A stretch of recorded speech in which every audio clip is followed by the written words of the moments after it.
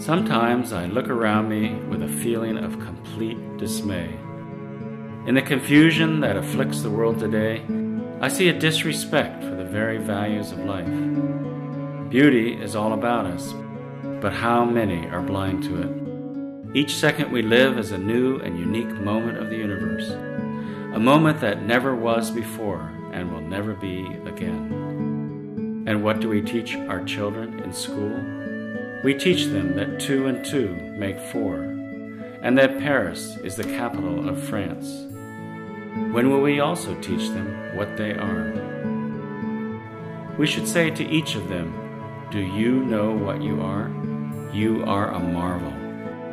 You are unique. In all the world, there is no other child exactly like you.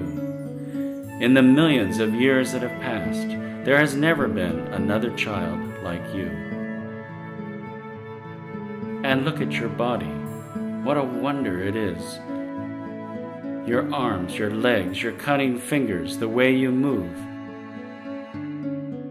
You may be a Shakespeare, a Michelangelo, a Beethoven. You have the capacity for anything.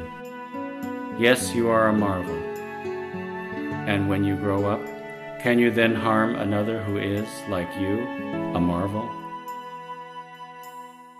You must cherish one another.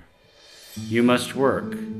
We all must work to make this world worthy of its children.